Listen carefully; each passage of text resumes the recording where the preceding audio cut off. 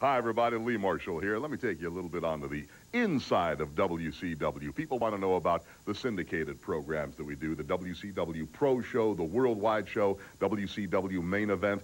Well, you hear from time to time about WCW being in Orlando, Florida, and that's true. We go to the Universal Studios and we tape a lot of the programs. A lot of the matches that you see are actually taped at these WCW events. And one of the man calling the action, and most of them is my colleague Bobby the Brain Heenan. Bobby, let's talk a little bit about what we do when we're not calling the action at a WCW event. A day in the life of Bobby the Brain in Orlando, if you will. Hey, pal, she fell down by the elevator. Her hip went out. I was just helping her in the No, elevator. no, no, no. 3.30 in the morning. I had just gotten off the plane. And, No, they don't. I'm talking about. I'm talking about a, a regular day in the life. You know, not to be. Oh, don't you have mean to go that. tourist? Yes, yes. Well, there's so many things to do in Orlando. You go to Universal Studios. You can see. You can ride the great rides. Get the great food.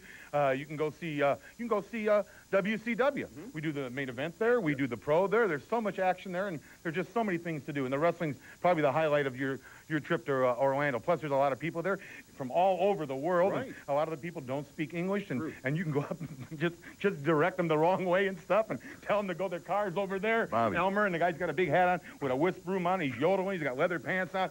You're in 16D by the Bear. You can send him any place. It's a ball here. No Why? wonder you're called the concierge to the world. It is our job. It is our job to treat our tourists a little bit better, to be to be good hosts, to welcome them to Orlando, welcome them to the United States, show them the good things, the good side Well, of I the am a good host to everybody. Oh, What? What?